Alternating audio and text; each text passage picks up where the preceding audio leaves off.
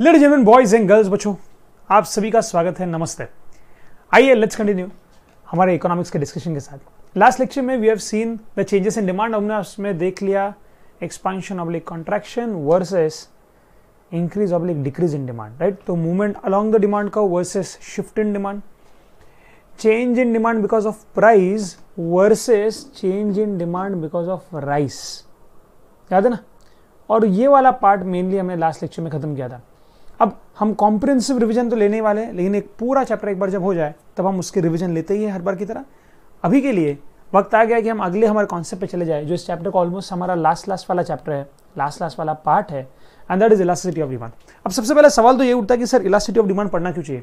या law of demand और elasticity of demand दोनों में डिफरेंस क्या है? लॉ ऑफ़ डिमांड क्या बोलता है? इलास्टिसिटी ऑफ़ डिमांड क्या बोलता है? अब मुझे ध्यान सीखना law of demand just explains the nature of demand but it doesn't quantify or doesn't measure the change the change in demand law of demand explains the nature the nature of demand with respect to price the behavior of demand law of demand जो है वो nature explain कर सकता है कि demand कैसे behave करता है उसका नेचर क्या है बट वो उसको क्वांटिफाई नहीं कर सकता वो उसको मेजर नहीं कर सकता और डिमांड में होने वाले चेंजेस को क्वांटिफाई करने के लिए आंकड़ों में न्यूमेरिकल तरीके से उसको मेजर करने के लिए हमको एक स्टेप और आगे जाके पढ़ना पड़ता है इलास्टिसिटी ऑफ़ डिमांड एक और बार सर, क्या क्या क्या था?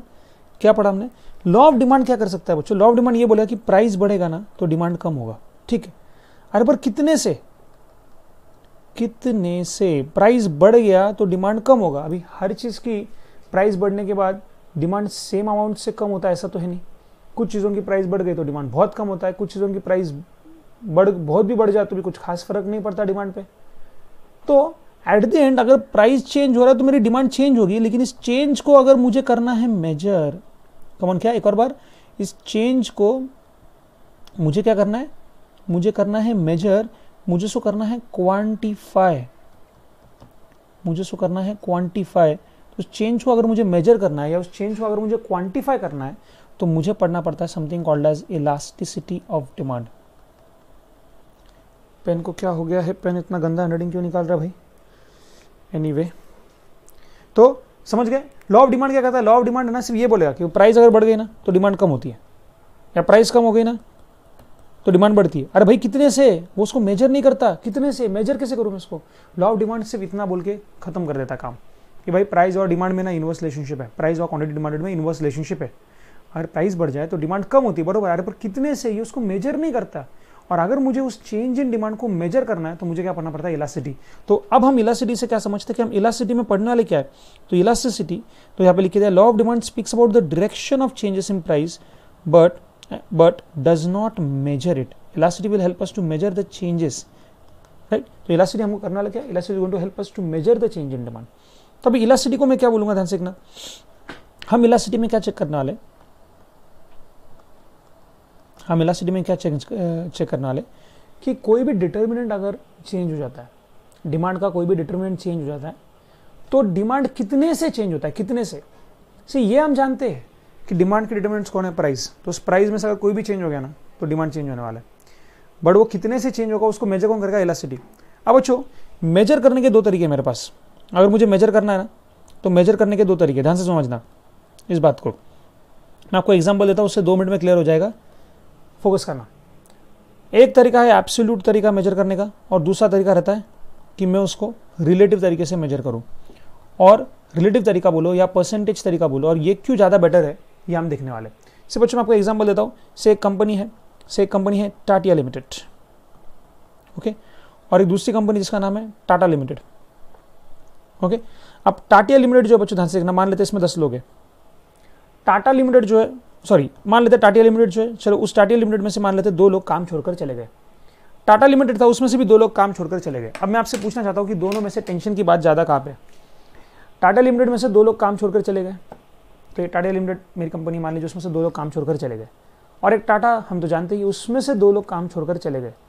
तो अब अगर मैं आपसे पूछूँ, अगर लोग काम छोड़कर जा रहे हैं तो मैनेजमेंट पर टेंशन तो आता है। बताइए टेंशन ज़्यादा का होगा? तो क्या आप ऐसा बोलोगे, सर, देखो, टाटिया में से भी दो लोग गए हैं। और टाटा में से भी दो लोग गए। तो दोनों जगह पे सेम टेंशन रहेगा ना दो दो लोग गए दोनों जगह से।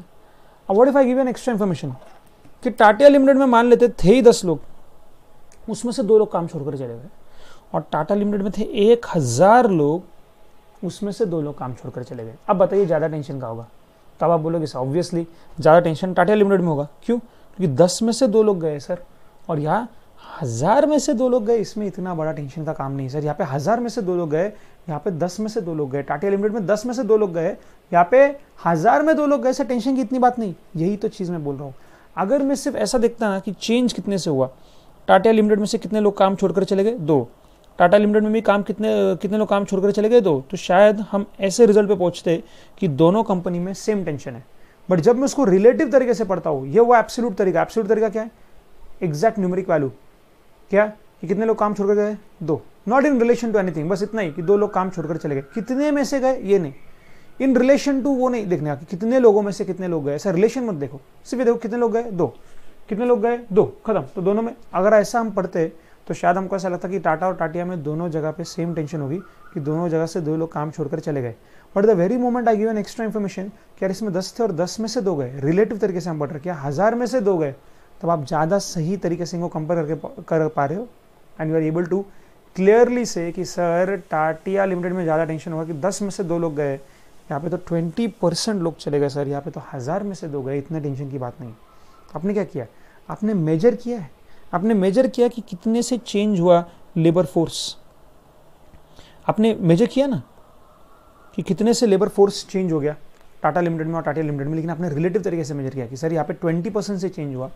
और यहाँ पे अगर हम निकाले।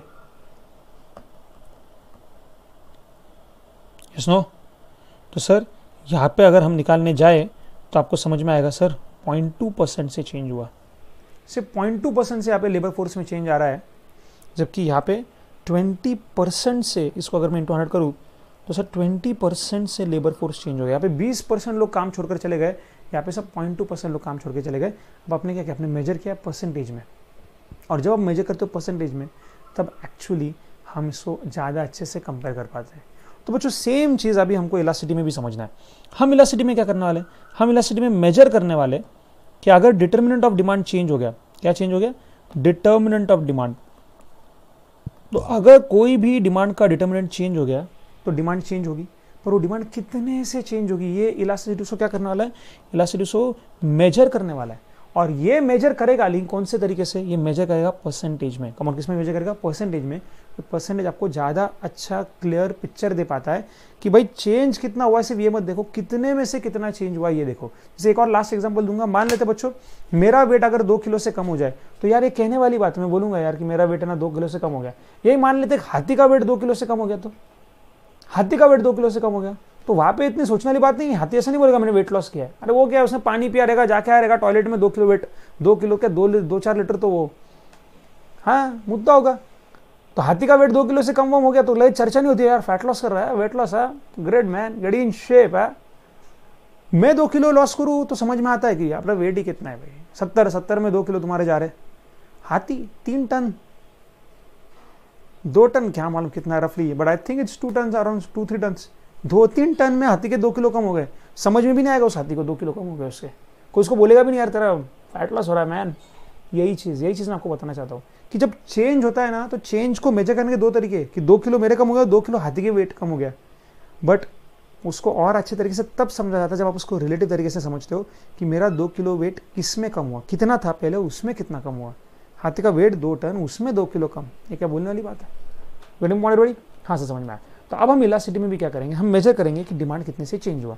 तो इलासिटी का फॉर्मुला क्या रहेगा? इलासिटी का फॉर्मुला रहेगा परसेंटेज चेंज से in quantity demanded percentage change in demand या percentage change in quantity demanded upon percentage change in determinant percentage change in quantity demanded हम परसेंटेज चेंज इन डिटर्मिनेंट तो पहली बात मैंने आपको सिर्फ़ अब तक ये सिखाया कि हम change in demand upon change in determinant नहीं लिख रहे, हम लिख रहे परसेंटेज चेंज इन डिमांड वो बहुत इंपॉर्टेंट है। Upon percentage change in determinant okay अब, अगर ये इलास्टिटी का इन जनरल फॉर्मूला आपको समझ में आ गया है, अब देखिए इलास्टिटी के हमको टाइप्स क्या क्या पढ़ने हैं। तो मुझे सबसे पहले समझना है, एक called as price elasticity of demand दूसरा मुझे क्या पढ़ना है? मुझे पढ़ना है income elasticity of demand income elasticity of demand और लास्ट में हमको एक और पढ़ना that is cross price elasticity right तो ये क्या है? क्या ये? Price elasticity of demand income elasticity और ये क्या है? क्रॉस प्राइस इलास्टिसिटी सर मतलब क्या बोलना चाहते हो? बच्चों, ध्यान से देखना डिमांड के डिटर्मिनेंट्स कौन है? P R I C E price मतलब इन पाँचों में से कोई भी चेंज हो गया तो डिमांड चेंज होता है? हाँ सर अब इन पाँचों में से ये दो छोड़ दूँ मैं तो अगर प्राइस चेंज हो गया तो डिमांड कितने से चेंज होता है? ये मेजर करता है प्राइस इलास्टिसिटी अगर इनकम चेंज हो गया तो आपका डिमांड पे कितना इंपैक्ट गिरता है? ये मेजर करेगा इनकम इलास्टिसिटी और अगर किसी और की प्राइस आर क्या है? रिलेटेड गुड्स अगर रिलेटेड गुड्स की प्राइस अगर बदल जाए तो डिमांड पे कितना इंपैक्ट पड़ता है? उसको मेजर करेगा। रिपीट क्या? उसको मेजर करेगा इलास्टिसिटी कौन सा इलास्टिसिटी क्रॉस प्राइस इलास्टिसिटी तो फ़र्क क्या हुआ? फ़र्क ये हुआ कि लॉ ऑफ़ डिमांड सिर्फ़ यही बोलता था कि भाई प्राइस बदलता है तो डिमांड बदलता है। बट उसको मेजर नहीं करता वो। Elasticity will help us to measure it demand कितने से चेंज हो रहा है। और हम मेजर करेंगे बट हम मेजर भी किसमें करने वाले परसेंटेज फॉर्म में। वो क्यों परसेंटेज है? पहले मैंने वो एक्सप्लेन किया। हाँ सर। अब प्राइस बदल गई तो डिमांड कितने से चेंज हो जाएगी? उसको मेजर करेगा। रिपीट प्राइस बदलेगा तो डिमांड बदलता है ये मुझे पता है। उसके लिए की ज़रूरत नहीं है। बट अगर प्राइस बदल गया तो डिमांड कितने से बदलता है? ये अगर आपको मेजर करना है मेजर तो आपको पढ़ना है प्राइस इलास्टिसिटी इनकम बदल गया तो डिमांड कितने से बदलता है? ये आपको मेजर करना है तो दैट इज़ इनकम इलास्टिसिटी अगर किसी रिलेटेड गुड की प्राइस बदल गई तो अपनी डिमांड कितने से चेंज हो जाती है? अगर आपको मेजर करना है तो आपको पढ़ना है क्रॉस प्राइस इलास्टिसिटी तो सबसे पहली बात, दिमाग में बार बार बार मैं एक ही चीज़ हैमर करना चाहता हूँ कि इलास्टिसिटी करता है मेजर और वो भी हम मेजर करते वक्त ऐसा नहीं देखने वाले चेंज इन डिमांड हम देखने वाले परसेंटेज चेंज इन डिमांड और परसेंटेज क्यों इंपॉर्टेंट है? ये मैंने आपको एक्सप्लेन किया था। परसेंटेज इसलिए इंपॉर्टेंट है क्योंकि एग्ज़ाम्पल याद रखेंगे। मेरा वेट वर्सेस हाथी का वेट मेरे दो किलो कम हो जाए, शायद चर्चा होगी। सर वेट लॉस पे हो। हाथी दो किलो कम कर रहा है, समझ में भी नहीं आएगा। गड्डी में पॉइंट बीस तीस लीटर तो पानी पी के वो हाँ समझ गया आप, वो करता होगा। बीस लीटर तो ऐसे कम होता होगा before water and after water दो किलो क्या देखे हाथी में, दो किलो कम कैसे हो गए? गड्डी में पॉइंट बड़ी हाँ सर, समझ में आ गया। चलिए, अब मैं शुरू करने वाला सबसे पहले प्राइस इलास्टिसिटी के साथ। अब इलास्टिसिटी का इन जनरल फॉर्मूला क्या है? Percentage change in quantity demanded upon percentage change in determinant okay अब यहाँ पे सिर्फ़ जब प्राइस चेंज होती है तो हम शब्द का इस्तेमाल करते हैं? Percentage change in quantity demanded जब इनकम और क्रॉस प्राइस देखते हैं हम तो डायरेक्टली हम क्या बोलते हैं? परसेंटेज चेंज इन डिमांड बोलते हैं, सिर्फ़ डिमांड क्वांटिटी डिमांडेड ये वर्ड हमेशा सिर्फ़ जब प्राइस चेंज हो जाए, तब वर्ड यूज़ करना चाहिए। प्राइस छोड़कर बाकी कोई भी अगर चेंज हो जाए, दूसरे फैक्टर राइस वाला अपना, वो चेंज हो जाए ना तो आपको शब्द का इस्तेमाल करना है सिर्फ़ चेंज इन डिमांड प्राइस की वजह से चेंज हो तो क्या बोलना है? चेंज इन क्वांटिटी डिमांडेड और दूसरे फैक्टर्स की वजह से अगर डिमांड चेंज हो तो आपको क्या बोलना है? चेंज इन डिमांड फेर ऑफ़ हाँ सर अब मैं आता हूँ प्राइस इलासिटी ऑफ़ डिमांड पे। अब ध्यान से बच्चों प्राइस इलासिटी ऑफ़ डिमांड इसका फॉर्मूला क्या रहेगा? इसका फॉर्मूला है percentage change in quantity demanded upon percentage change in determinant बोला था आपने इलास्टिटी क्या पे। अब ये डिटर्मिनेंट कौन हो सकता है? डिटर्मिनेंट हो सकता है प्राइस हो। डिटर्मिनेंट हो सकता है इनकम हो। डिटर्मिनेंट हो सकता है क्रॉस प्राइस हो। क्रॉस प्राइस मतलब क्या? किसी और प्रोडक्ट की प्राइस तो उसको हम बोलते हैं price of Y price of commodity Y मान लो। ओके सो डिटर्मिनेंट हो सकता है price of the commodity determinant हो सकता है इनकम डिटर्मिनेंट हो सकता है क्रॉस प्राइस मतलब किसी और प्रोडक्ट की प्राइस तो उसमें बोलता हूँ पी वाई पी वाई क्या दिखाता है? Price of some other commodity ये प्राइस क्या है? ये प्राइस कमोडिटी की है। मतलब ऐसा मानना कि ये कमोडिटी है जिसका नाम है एक्स तो मैं मेजर कर रहा हूँ percentage changing quantity demanded of X because of percentage changing price of X only इसको प्राइस इलास्टिसिटी बोलते हैं। किसी और की प्राइस बदल गई ये दिखाने के लिए मैं इसको पी वाई बोल देता हूँ कि किसी और की प्राइस बदल गई। और कौन हो सकता है? हो सकता है वो हमारा रिलेटेड गुड हो सब्सिट्यूट हो कॉम्प्लीमेंट हो या नॉट रिलेटेड गुड हो। किसी और कमोडिटी की प्राइस बदल गई तो हमारा डिमांड कितने से बदलता है? ये अगर आपको मेजर करना है तो इसके लिए आपको मदद करने वाला है क्रॉस प्राइस इलास्टिसिटी हाँ सर इसमें मैं सबसे पहले आप शुरू कर रहा हूँ प्राइस इलास्टिसिटी ऑफ़ डिमांड उसका फॉर्मूला क्या है? Percentage change in quantity demanded upon percentage change in determinant के बदले, अब मैं लिखूँगा percentage change in price so percentage change in quantity demanded upon percentage change in price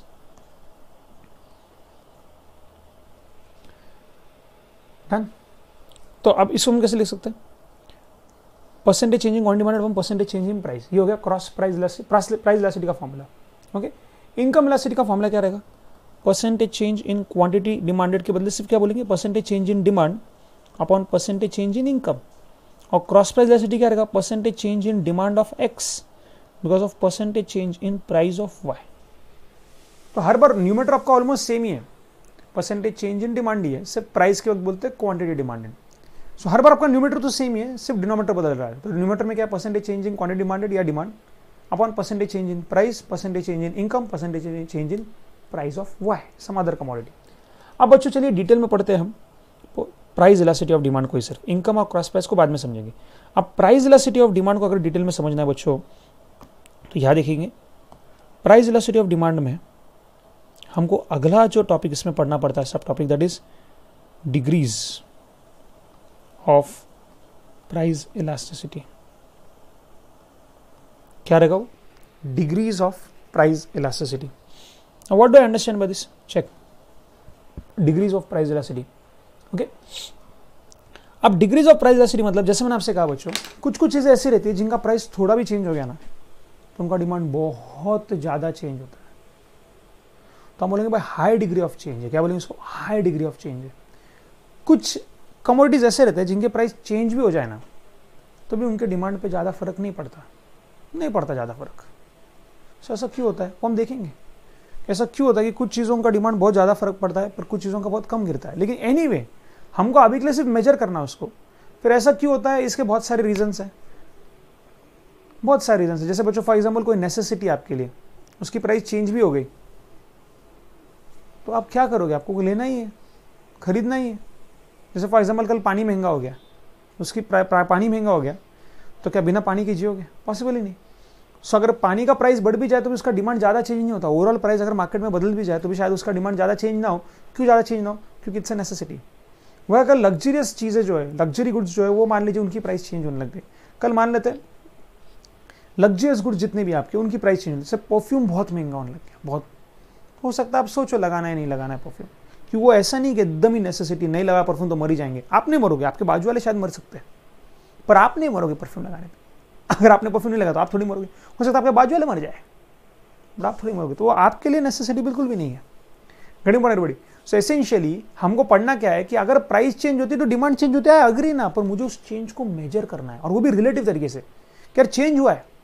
but कितना change हुआ है? उसका मुझे एक कैलकुलेशन करना है कि कितना चेंज हुआ है। तो मैं उसे कैसे कैलकुलेट करना लो मैं देखना लो percentage change in quantity demanded upon percentage change in price और जब हम इस फॉर्मुला को एनालाइज करते हैं we come across something called as degrees of price elasticity मतलब ये प्राइस इलास्टिसिटी के क्या क्या अलग अलग डिग्रीज है?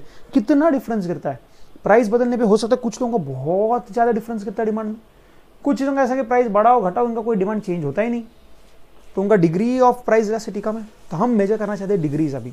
अब एसेंशियली हमारे पास बच्चों पाँच केसेस हो सकते हैं। केस नंबर वन कि मान लेते कि बहुत चेंज हो रहा है percentage change in quantity demanded अब मान लेते case one percentage change in quantity demanded कितना है? डिमांड चेंज ही नहीं हुआ। जब मैंने प्राइस मान लीजिए थर्टी परसेंट से कम किया तो भी डिमांड बिल्कुल भी चेंज नहीं हुआ। डिमांड बिल्कुल चेंज नहीं हो रहा है। ना डिमांड बढ़ रहा है, ना डिमांड कम हो रहा है। मैं प्राइस कम कर रहा हूँ, फिर भी ओवरऑल डिमांड चेंज नहीं होता है। अब सबसे पहली बात आपको यह समझना चाहिए the meaning of the word percent change in quantity demanded इस वर्ड को आपको एकदम ध्यान से समझना है बच्चों। सी एक बंदा एक दिन में एक वाटरमेलन खाता है। वन वाटरमेलन पर डे आज मान लीजिए वो पाँच वाटरमेलन लेकर गया, लेकिन उसने पाँच दिनों में ही खाया। तो क्या आप इसको ऐसा बोलोगे उसका डिमांड बढ़ गया? सी आज कोई ज़्यादा खरीद कर लेकर जाए, इसको नहीं बोलते कि उसका डिमांड बढ़ गया। डिमांड बढ़ गया, कब बोलते? जब उसका कंजम्पशन चेंज हो जाए, उसी टाइम में। वो एक वाटरमेलन एवरीडे खाता है। आज मान लीजिए वो पाँच पाँच वाटरमेलन खरीद के लेके गया, पर पाँच दिन का लेकर गया अभी। अब वापस अगले पाँच दिन वो आने नहीं वाला। तो क्या वैसा बोल करो क्या रोज तो एक लेके आता था। पहले वो रोज आता था, एक आता था, एक लेके जाता था। रोज आता था, एक आता था, एक लेके आता था। आज वो आया बोला से एक साथ पाँच दे दो मुझे। मैं आने वाला चार दिन अगले। तो जो फ्रूट वाला है उसको ऐसा लगा क्या मेरी डिमांड बढ़ गया यार, पहले एक लेता था, आज पाँच ले रहा है।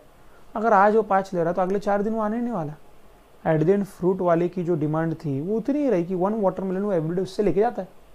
तो कब कहते हैं कि चेंज हुआ है डिमांड में? जब उसी, उतने ही टाइम में आप ज़्यादा खाते हो। हाँ वो एक ही दिन में अभी दो दो वाटरमेलन खाए तीन तीन वाटरमेलन खाए तो उसको कहते हैं कि भाई हाँ there is a change in quantity demanded और इसलिए याद है बच्चों, मैंने आपको डिटेल में कहा था कि जब भी आप प्राइस बोलो डिमांड बोलो, तीन चीज़ें बोलनी पड़ती है। Price quantity per unit of time और इसलिए मैंने आपको वहाँ पर बताया था कि demand is a relative concept demand is always in relation to time आपको ये बोलना है कि एक शर्ट में खरीदूँगा दो हज़ार रुपये में, एक वीक में, तब जाके डिमांड कंप्लीटली एक्सप्रेस होती है। तो डिमांड चेंज हो गया, ये कब कह सकते हैं हम? जब per unit of time come on क्या? जब per unit of time per unit of time अगर आप ज़्यादा कंज्यूम करने लग जाओ, तब कहना कि हाँ वो डिमांड बढ़ गई है। या उतने टाइम में अगर आप कम करो तो बोलना कि डिमांड कम हुई है। आप ज़्यादा खरीद कर लेकर गए, इसको नहीं कहते कि डिमांड ज़्यादा हुई आपसे। उसका कंजम्पशन भी बढ़ना चाहिए। आज आप पाँच वाटरमेलन लेके गए लेकिन पाँच दिन का। आप पाँच वाटरमेलन लेके गए लेकिन पाँच दिन का। तो इसको थोड़ी ना कहेंगे भाई डिमांड बढ़ गई। एक वाटरमेलन एक दिन का लेके आते थे, पहले रोज आते थे, रोज लेके जा रहे थे। आज एक साथ पाँच लेकर गए, पाँच दिन नहीं आओगे। इसको थोड़ी ना कहेंगे डिमांड बढ़ गई। तो अभी शुरू करते हैं। सबसे पहला केस हो सकता है कि आपने प्राइस चेंज की, लेकिन डिमांड में कोई चेंज ही नहीं हुआ। आपने प्राइस ट्वेंटी परसेंट ऑफ़ दिया। तो percentage change in price numerator कितना है? Denominator sorry percentage change in price कितना है? आपने ट्वेंटी परसेंट ऑफ़ दिया। आपने थर्टी परसेंट ऑफ़ दिया। आपने फिफ्टी परसेंट ऑफ़ दिया। बट ऐसा हुआ मान लेते कि there is no change in demand demand change नहीं हो रहा बोले से ऐसा क्यों? प्राइस कम हो रही तो सामने ज़्यादा क्यों ना खरीदे?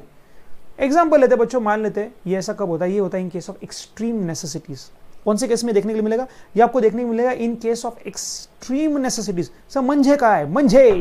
बच्चों, मान लेते आई एम हार्ट पेशेंट मान लेते मैं हार्ट पेशेंट हूँ। ब्लड प्रेशर का प्रॉब्लम मुझे। मेरे दिल में दर्द दर्द। वो मैनू क्या है? मेरा दिल में दर्द है। अब मान लीजिए मुझे डॉक्टर ने कहा है कि ब्लड प्रेशर मेंटेन करने के लिए you should take one tablet every day कौन क्या बोला उसने? One tablet every day blood pressure आपको मेंटेन करना है तो you should take one tablet every day अब मान लेते कि आज जो ब्लड प्रेशर की टैबलेट थी, उसकी प्राइस पाँच रुपए से कम हो गई। या चलो मान लो उसकी प्राइस दस परसेंट से कम हो गई। तो अभी क्या मैं प्राइस कम हो गई, इसलिए एक डजन भर दवाई खा लूँगा आज ही। वो आज सस्ता प्राइस है। आज ही डजन भर खा के रख देते हैं मतलब लोड नहीं। अगर मैंने एक डजन भर टैबलेट ब्लड प्रेशर के आज ही खा लिए तो लाइफ में मैं अब और कुछ नहीं खा पाऊँगा। ये आखिरी वक्त होगा। अच्छा मान लीजिए ऐसा हो गया कि ब्लड प्रेशर की टैबलेट महँगी हो गई तो मैं कैसा बोलूँगा, छोड़ो, नहीं लेने का। नहीं लेने का ना, नहीं लेने, मैं नहीं लूँगा नहीं लूँगा। अरे, नहीं लूँगा नहीं लूँगा, कहते कहते प्रेशर ऐसा बढ़ जाएगा कि लाइफ में फिर और कुछ नहीं ले पाओगे। बोलने का मतलब प्राइस चाहे कम हो, ना मैं डजन भर टैबलेट आज ही खाने वाला हूँ। प्राइस बढ़े तो भी ऐसा नहीं कि मैं टैबलेट नहीं खाने वाला हूँ। मैं वन टैबलेट एवरीडे खाने वाला हूँ, तुम प्राइस कम करो, तुम प्राइस ना करो तो ऐसे केस में क्या हुआ है कि there is a change in price but there is no absolutely no percentage change in demand और वो लोग जो आप में से ऐसा सोच रहे कि सर जब डिस्काउंट मिलेगा तो सामने वाला बंदा ज़्यादा खरीद कर लेकर जाएगा, उसको बच्चों चेंज इन डिमांड नहीं कहते। क्योंकि अगर वो एक महीने के टैबलेट भी लेकर जाए तो भी वो खाने वाला तो एक महीने में ही है ना। तो रोज वाटरमेलन का मैंने एग्ज़ाम्पल दिया आपको। रोज आके मैं मेरा एक वाटर वाटरमेलन लेके जाऊँ या पाँच वाटरमेलन एक साथ लेके गया, लेकिन पाँच दिन फिर ना हो। एट दिन डिमांड तो एक ही फ्रूट वाला क्या सोचेगा? भाई ये सब, भाई है ना, एक दिन में एक वाटरमेलन खत्म करता है। वैसे ही प्राइस कम हो गया तो सामने ज़्यादा खरीदेगा, वो छोड़ो आप, हम उसको चेंज इन डिमांड बोलते ही नहीं, उसको चेंज इन डिमांड बोल नहीं सकते। वो ज़्यादा खरीद कर लेके गया दैट्स अनदर स्टोरी और उसकी डिमांड चेंज हुई क्या? अगर वो ज़्यादा खरीद कर लेके गया तीस दिन का तो अभी तीस दिन वो आने भी नहीं वाला टैबलेट खरीदने के लिए। सो इससे आपको सबसे पहले ये समझना है कि what do I really understand by the word change in quantity demanded okay? हाँ सब समझ में आ गया तो केस वन ले रहा हूँ मैं कि मैं प्राइस कम कर रहा हूँ। दस percent discount twenty percent discount thirty percent discount फिर भी यार मार्केट चेंज ही नहीं हो रहा डिमांड मार्केट में चेंज ही नहीं हो रहा। तो बोलूँगा, यार, ये डिमांड है ना डिमांड मार्केट का। इसकी डिग्री अगर मुझे बतानी है डिग्री ऑफ़ प्राइस इलास्टिसिटी तो ये आंसर तो मेरा ज़ीरो वाला है zero point anything is zero और जब मेरी प्राइस इलास्टिसिटी ज़ीरो आ जाए, क्या आ जाए? ज़ीरो ऐसे इसको हम कहते हैं the demand is perfectly inelastic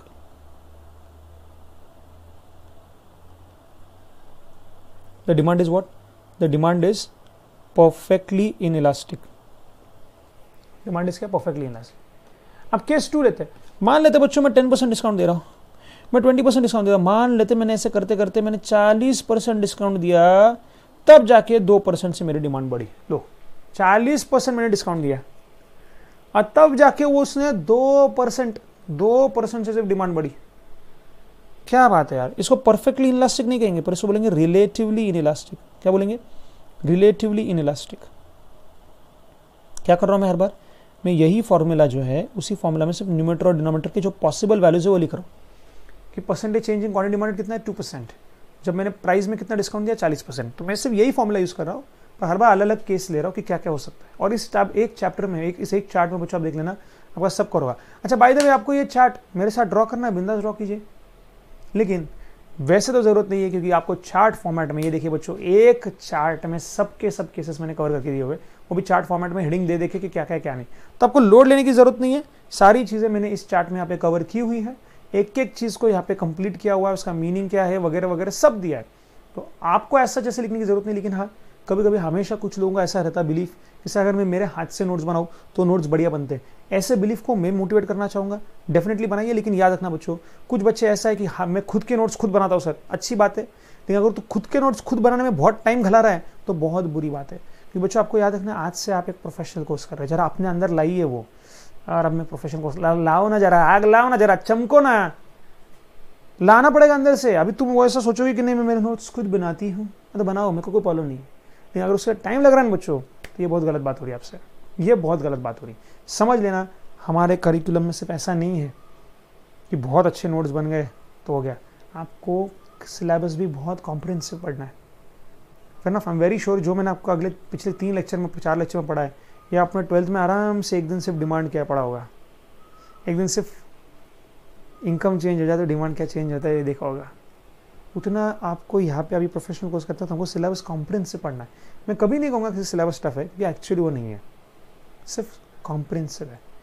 At the end you need time to revise it well if you don't revise entire syllabus well in respect of how good I have taught you respect of how good you have studied it but if before the exam you are unable to revise it quickly willy mediocre students you have to pay a very heavy cost अगर आप revision नहीं कर पाए, क्योंकि आपने बहुत अच्छे से समझा भी होगा तभी एग्ज़ाम में वो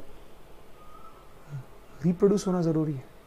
और उसके लिए ज़रूरी है रिविजन और उसके लिए हमने बनाए हैं ये चैट्स तो ये एक्चुअली वेरी ट्रू आप ये ट्वेल्थ का आपका बुक खोलना, ये कम से कम दो दो, तीन तीन पेज भर के लिख के दिया इलासिटी जो मैंने चार्ट फॉर्मेट में कितने लाइंस बोलोगे आप? इसको दस लाइन के अंदर कवर कर दिया?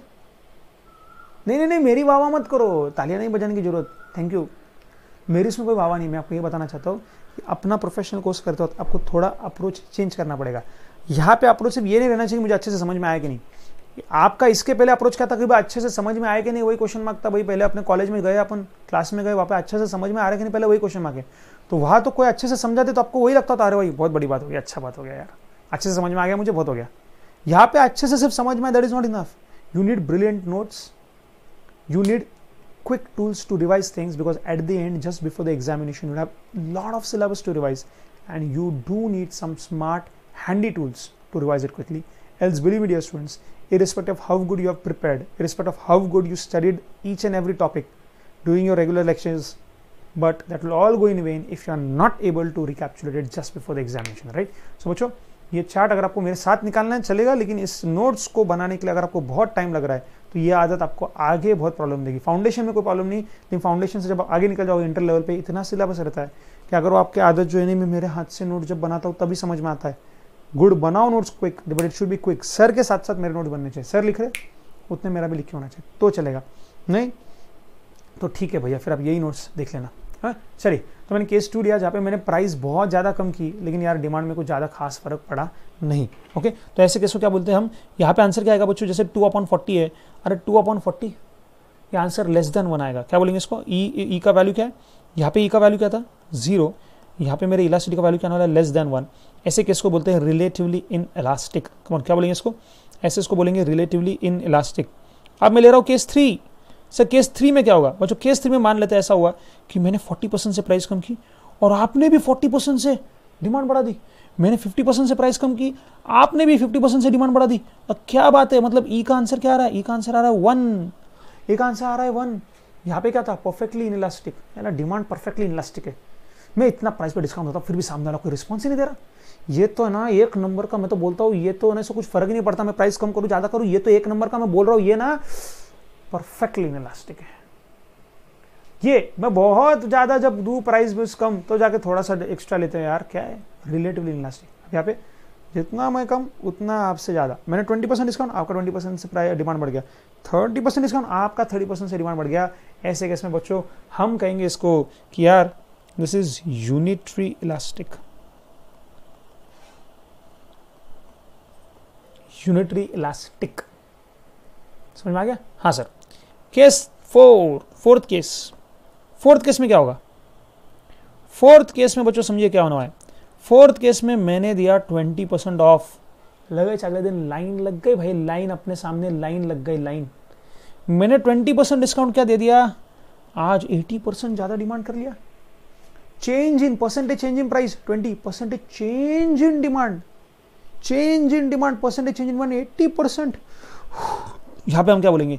ई e का वैल्यू आता है मोर देन वन और ऐसे केस में कहते हैं इसको रिलेटिवली इलास्टिक क्या बोलेंगे इसको? इसको बोलेंगे हम रिलेटिवली इलास्टिक ये क्या था? रिलेटिवली इन इलास्टिक ये क्या था? रिलेटिवली इलास्टिक आ रहा है समझ में? यस सर नेक्स्ट अब लास्ट वाला एक केस देखिए, इसके बाद में। चार केस हो गए, अब हमारा last fifth case fifth case में देखिए क्या ले रहा हूँ मैं। मैंने हार्डली बच्चों वन परसेंट डिस्काउंट दिया। या मान लीजिए मैंने सिर्फ़ पॉइंट ट्वेंटी फाइव परसेंट से प्राइस कम कर दी और अचानक से मार्केट में टेन परसेंट से डिस्काउंट बढ़ गया। और टेन परसेंट से डिमांड बढ़ गया। मैंने कितना प्राइस कम किया? Almost zero zero point twenty five percent discount दिया मैंने। ऑलमोस्ट ज़ीरो का डिमांड दिया तो इसी को हम क्या लिखेंगे? This is almost equal to zero मैंने ज़ीरो के ज़ीरो से क्या चेंज कर दी रहे प्राइस ज़ीरो से प्राइस क्या चेंज कर दी मैंने? तो पहली बात this is not zero this is not zero अगर प्राइस चेंज करोगे, नहीं तो डिमांड चेंज होने का मतलब ही नहीं। क्यों चेंज होगा डिमांड डिटर्मिनेंट चेंज नहीं हो रहा है अगर तो डिमांड क्यों चेंज हो? राइट सो अब ध्यान से समझना। मैंने एक्चुअली प्राइस कम की है, पर कितने से कम किए? मैंने प्राइस कम की है, पर मैंने प्राइस कितने से कम की zero point twenty five percent which is almost equal to zero which is common word क्या? ऑलमोस्ट इक्वल टू ज़ीरो आ रहा समझ? और मैंने इतने से क्या प्राइस कम कर दी? लगे टेन परसेंट से डिमांड बढ़ गई। अब anything upon zero is zero बोलो हाँ नालाय को, मारो खुद को थप्पड़ जिन्होंने। हाँ कहा। Anything upon zero is not zero Baba. Anything upon zero is infinite यहाँ पे ई का वाले होगा इनफाइनाइट ई का वाले यहाँ पे क्या इनफाइनाइट ध्यान से समझना। Zero upon anything is zero anything divide by zero is a very big number zero इतना छोटा नंबर है कि जब किसी नंबर को ज़ीरो से डिवाइड करते हो ना, इतना बड़ा नंबर आता है कि हम बोलते हैं कि that is infinite right infinity तो उसका हम क्या बोलेंगे? रिलेटिवली इलास्टिक नहीं, अभी तो हम बोलेंगे perfectly elastic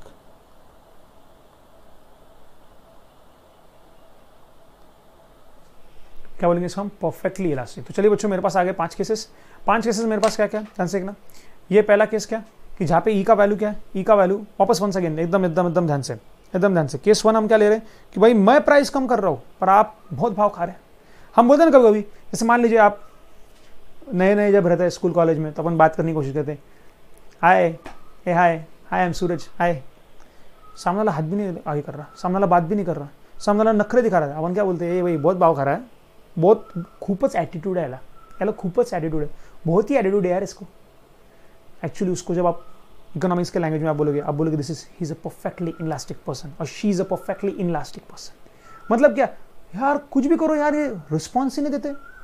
price ten percent से ट्वेंटी परसेंट से थर्टी परसेंट से फिफ्टी परसेंट से मैंने कम कर दी, फिर भी भैया डिमांड में चेंज ही नहीं.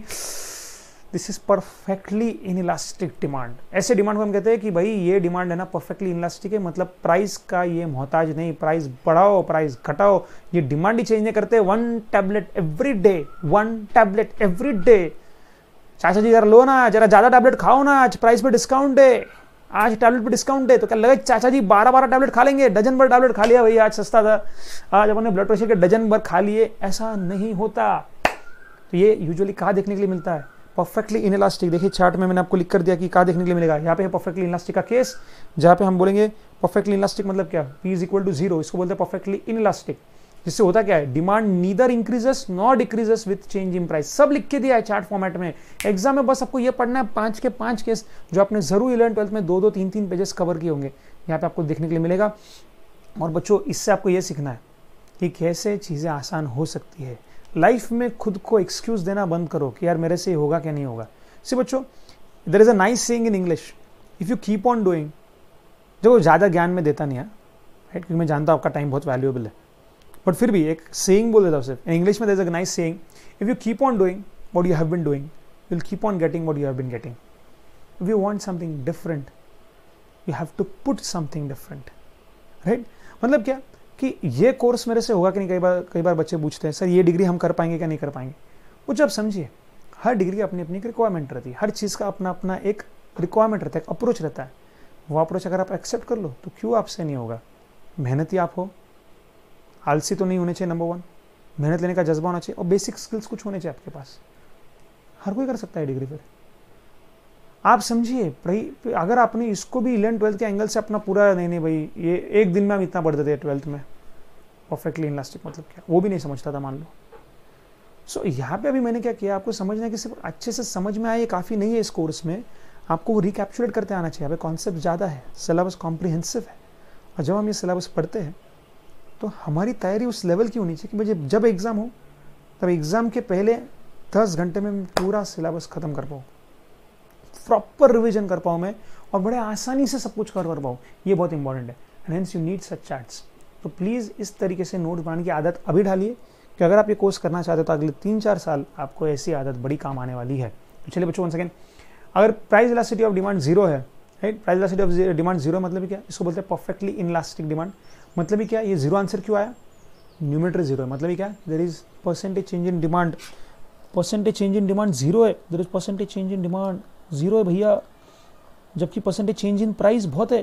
Price ten percent twenty percent thirty percent से डिस्काउंट दिया, फिर भी डिमांड नहीं चेंज हुआ। इसलिए का वैल्यू क्या आ गया? ज़ीरो इसको बोलते परफेक्टली इनलास्टिक इसका मीनिंग क्या है? वो भी लिख के दिया कि demand neither increases nor decreases with a change in price right और इसका शेप कैसा रहता है? हम शेप हम देखेंगे एक साथ, लेकिन ये कहाँ देखने के लिए मिलता है? ये यूजली देखने को मिलता है बच्चों case of salt match box ऐसी जगह पर आपको ये देखने के लिए मिलेगा। जैसे सॉल्ट की प्राइस कम हो गई तो क्या आज आज सब्ज़ी में आधा किलो नमक डाल दोगे? हैं? आज का सब्ज़ी में आधा किलो नमक डाल दोगे? अरे नहीं आज आज तो यार नमक सस्ता हो गया। नमक सस्ता है नमक तो बनता है आज नमक सस्ता हो गया। डाल दो आज तो सब्ज़ी में आधा किलो नमक। अरे भाई कौन करता है ये? सो so, ऐसे केस है राइट अब उसके बाद में हम केस नंबर टू ले रहे हैं। जहाँ पे क्या कि प्राइस में कम कर रहा हूँ रफली फोर्टी फोर्टी परसेंट से। डिमांड कम हो रहा है डिमांड बढ़ रहा है लेकिन बहुत स्लाइटली राइट इसलिए इसका आंसर लेस देन वन आता है। इसको कहते हैं हम रिलेटिवली इलास्टिक हम क्या बोलते हैं इसको? रिलेटिवली इलास्टिक सर ये चार्ट में क्या होगा। ये लीजिए जनाब आपके लिए पेश है चार्ट में। स्टार्टिंग में लिख के दिया मैंने। भाई price elasticity is more than one इसको बोलते हैं रिलेटिवली इलास्टिक डिमांड इसका मीनिंग क्या है? कि percentage change in demand sorry relatively inelastic I am so sorry I am so sorry इधर देखो, इधर हो क्या रहा है? कि मैं टू परसेंट मैं फोर्टी परसेंट से प्राइस कम कर रहा हूँ। अब टू परसेंट से डिमांड बढ़ा रहा है। मतलब मैं अभी भी क्या बोलूँगा यार, बहुत भाव खा रहा है यार। मैं इतना बात करता हूँ, उससे मैं इसको इतनी बार हेलो हेलो बोलता हूँ, वो सामने वाला बात ही नहीं करता, बहुत भाव खा रहा है। तो परफेक्ट थोड़ा सा ही बात करता है। बिल्कुल भी बात नहीं करता तो परफेक्टली इलास्टिक थोड़ा सा बात कर रहा है रिलेटिवली इन इलास्टिक तो relatively elastic inelastic in मतलब e is less than one क्या आपको यहाँ देखने के लिए मिलेगा?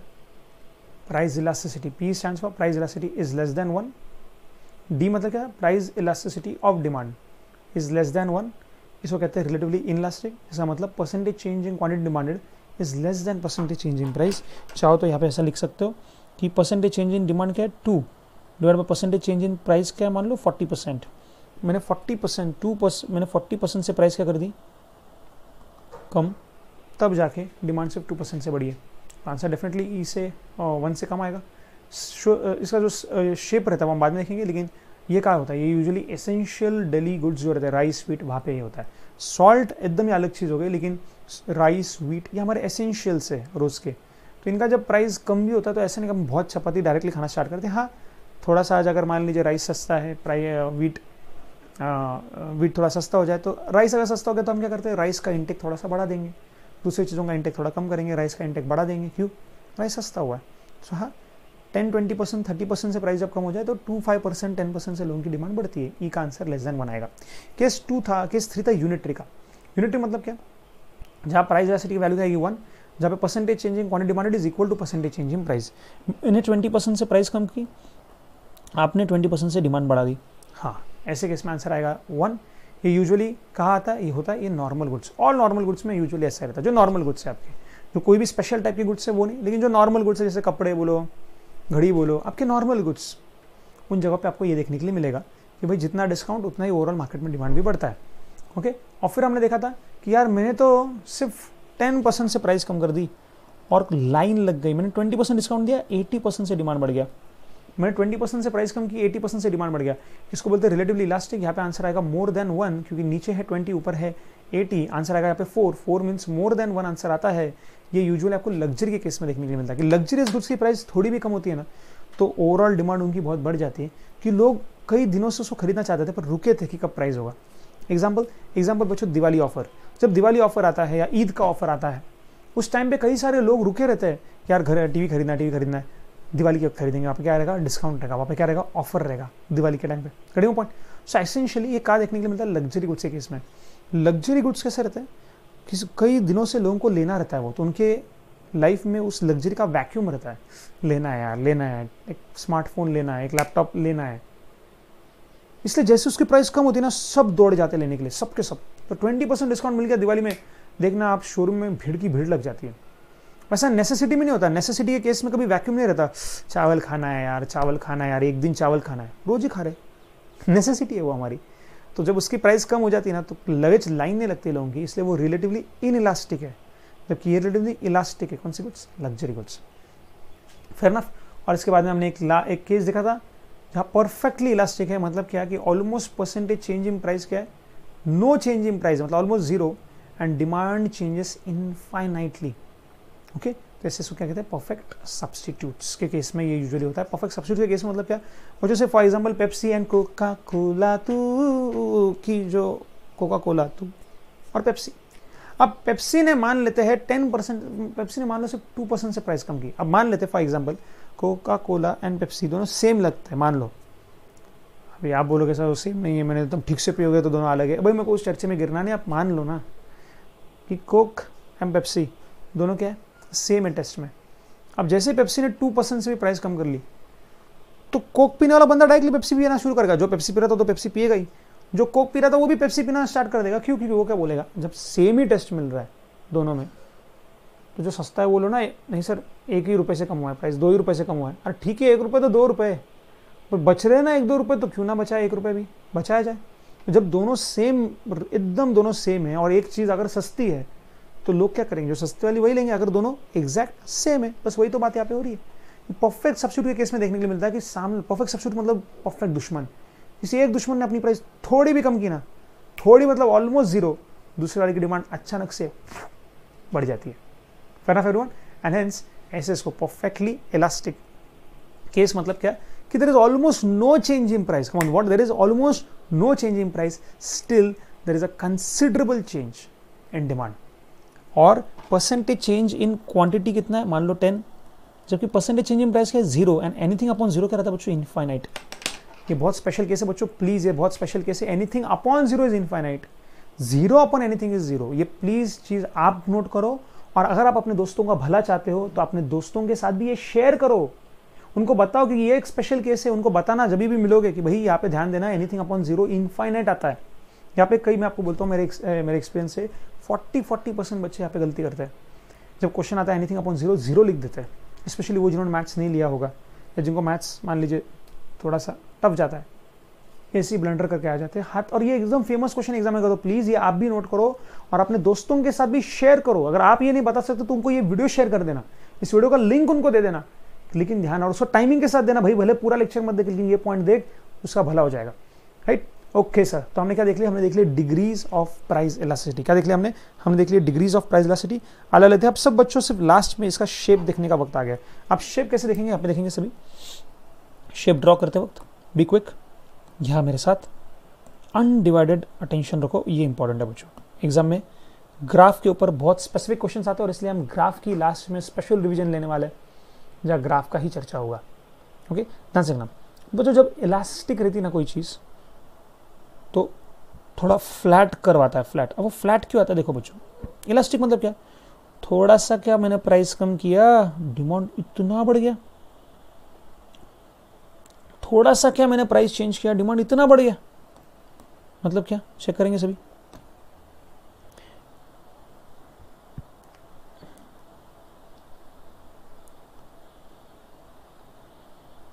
तो ये प्राइस थी, इतना डिमांड था क्या? P1 पे Q1 अब प्राइस P2 हो गई, कितनी गिरी? इतुसी लेकिन डिमांड हो गज इतना बढ़ गया। इसी को तो हम क्या बोलते हैं इलास्टिक इसलिए जब डिमांड इलास्टिक रहता है तो ये डिमांड का नेगेटिव स्लोपिंग ही है, लेकिन फ्लैट हो जाता है। क्या हो जाता है? फ्लैट वही, अगर रिलेटिवली इलास्टिक दिखाना आपको कौन क्या दिखाना आपको? आपको रिलेटिवली इलास्टिक दिखाना है। तो रिलेटिवली इलास्टिक के केस में डिमांड का स्टीप हो जाता है। ये है सॉरी ये है रिलेटिवली इलास्टिक और अगर रिलेटिवली इन इलास्टिक दिखाना है इन इलास्टिक तो डिमांड का स्टीप हो जाता है। बच्चे प्लीज़ ध्यान से देखिएगा।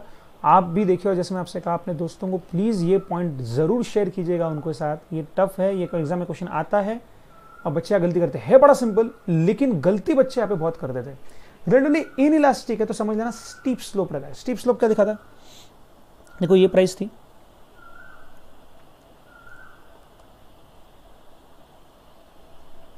ये P1 ये Q1 मैंने बहुत प्राइस कम कर दी। बहुत प्राइस कम कर दी। मैं P2 पे आ गया, यहाँ से यहाँ तक आ गया। प्राइस इतनी कम करने पे थोड़ी सी डिमांड बढ़ी है बस। मैं P1 से P2 पे आ गया, इतनी प्राइस कम हो गई, फिर भी डिमांड बच्चों से Q1 से Q2 थोड़ी सी ही बड़ी है। थोड़ी सी ही बड़ी है डिमांड इसको हम बोलेंगे कि डिमांड कैसा है? रिलेटिवली इन इलास्टिक कैसा डिमांड रिलेटिवली इन इलास्टिक कुछ ज़्यादा रिस्पॉन्स आ नहीं रहा। इतना प्राइस कम किया, इतना सा डिमांड बढ़ा। और वही यहाँ पे देखो, इतना सा क्या प्राइस कम किया? आपको दिख रहा है कि नहीं दिख रहा है? एकदम थ्री मॉडलिंग के साथ दिख रहा है कि नहीं? एग्जैक्ट हाथ मैच हो रहे मेरे? यस सर इतना सा क्या प्राइस कम हो गया? आप देख सकते हो डिमांड देखो, यहाँ से यहाँ पहुँच गया। For a small change in price for a small change in price there is a heavy change in demand बहुत ज़्यादा डिमांड में चेंज हो गया। पूरा डिमांड यहाँ से यहाँ, इतना ज़्यादा। और यहाँ for heavy change in price बहुत ज़्यादा प्राइस कम हुई, तब जाके थोड़ा सा डिमांड बढ़ा एस कहते हैं रिलेटिवली इलास्टिक एस एस कहते हैं रिलेटिवली इलास्टिक तो अगर ये आपको समझ में आ गया बच्चों तो आइए सारे के सारे पाँच के पाँच डिग्रीज को हम यहाँ पे प्लॉट करने वाले आप सब मेरे साथ ड्रॉ करेंगे। बहुत इंपॉर्टेंट वाला पार्ट है जो अब हम डिस्कस कर रहे हैं।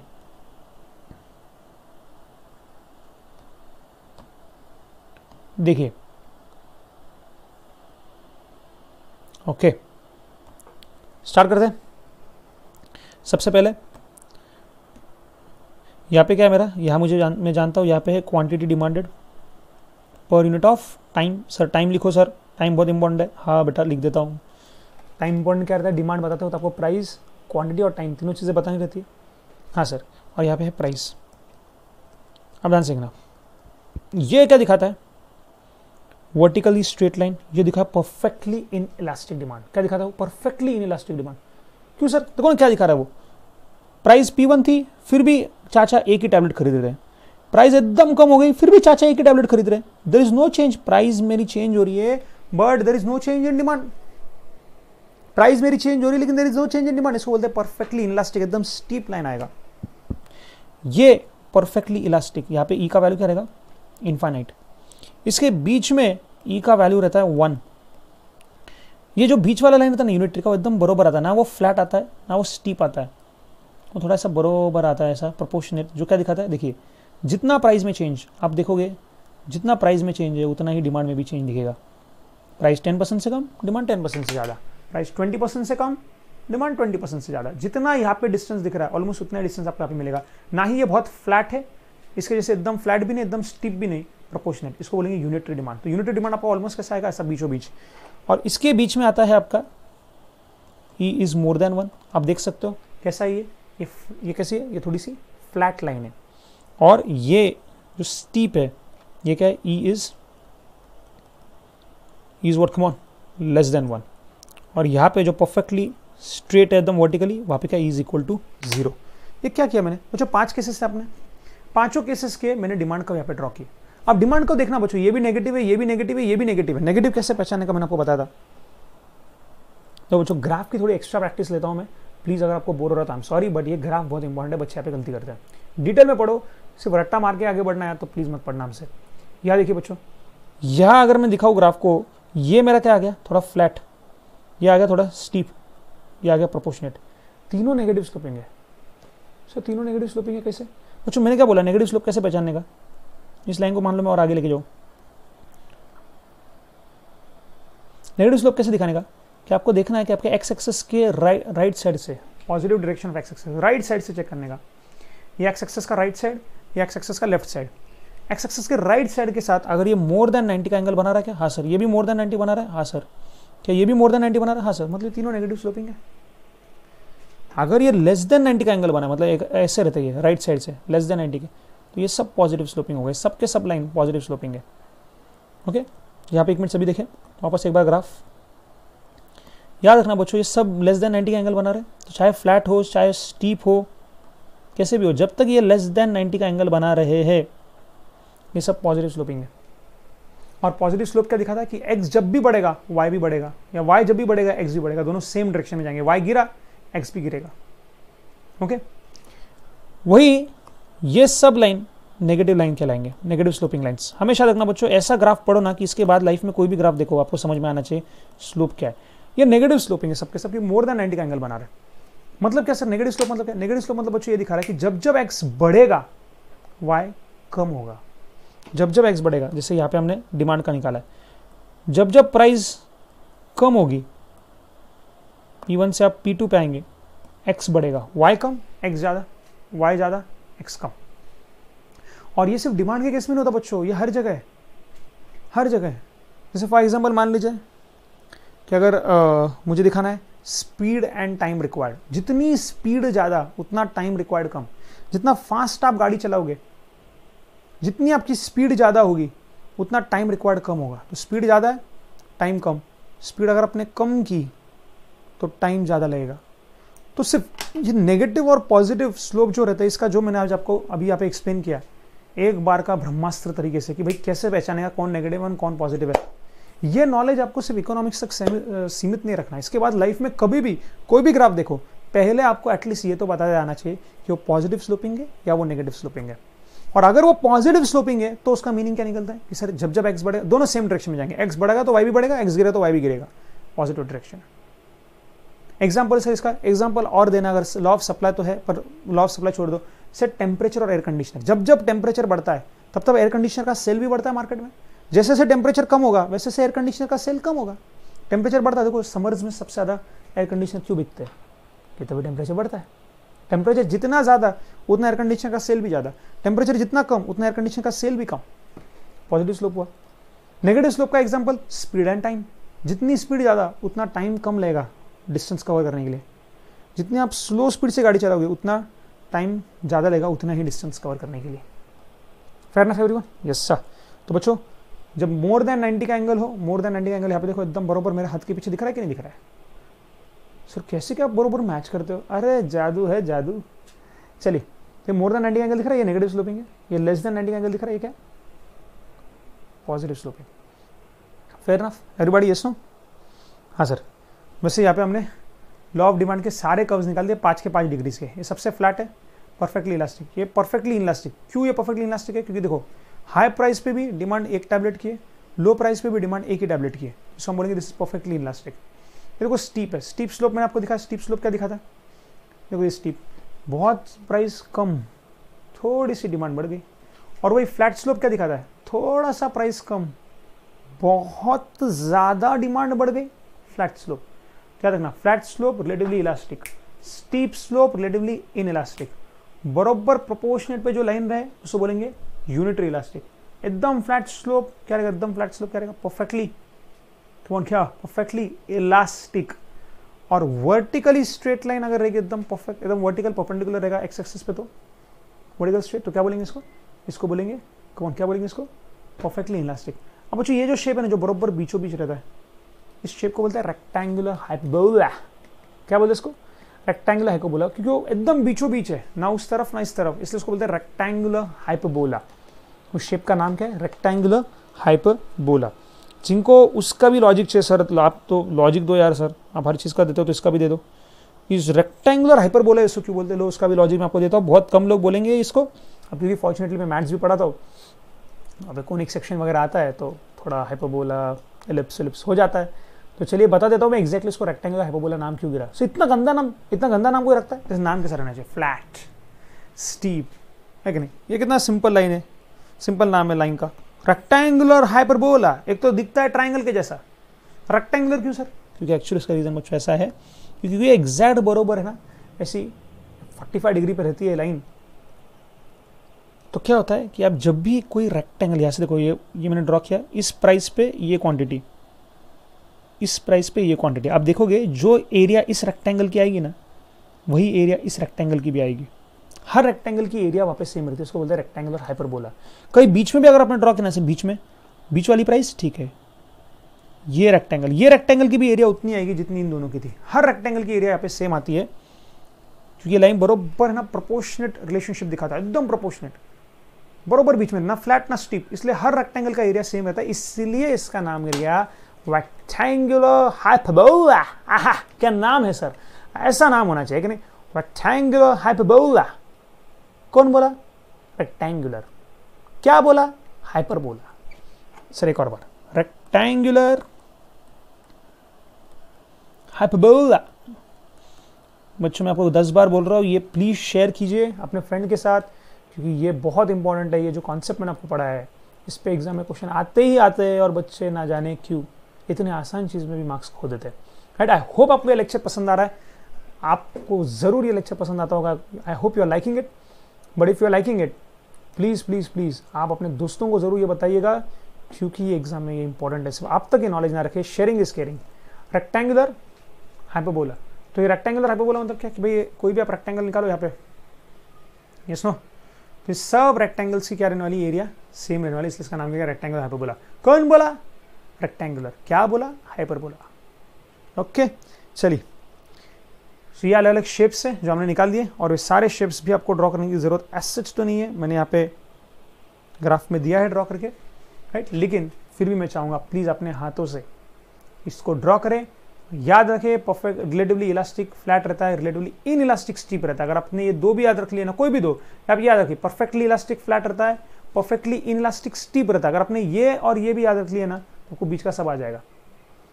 यूनिट्री तो बराबर बीच में आप निकाल लोगे कि ये बीच में जो आया वो कौन है? यूनिट्री फिर बराबर ये यूनिट्री है, ये वन है और ये इन्फिनिटी है। मतलब यहाँ पे बीच वाला क्या रहेगा? मोर देन वन ये वन है इधर और इधर इन्फिनिटी है। मतलब बीच वाला क्या रहेगा? मोर देन वन अब ये बीच वाला वन है और इधर ज़ीरो है।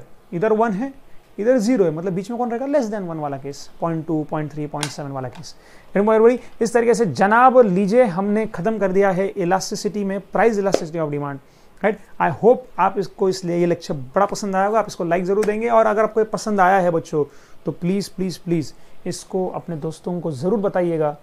ये इंपॉर्टेंट है मैंने आपसे कहा है। अगले लेक्चर में मैं आपको मिलूँगा शर्माना मत। अगर आपको पसंद आया तो डेफिनेटली लाइक करना है बच्चों लेक्चर को। और अगले लेक्चर में जब मैं आपको मिलूँगा will see you with income elasticity and cross elasticity I hope you'll join me in the next session as well. Until then, please take.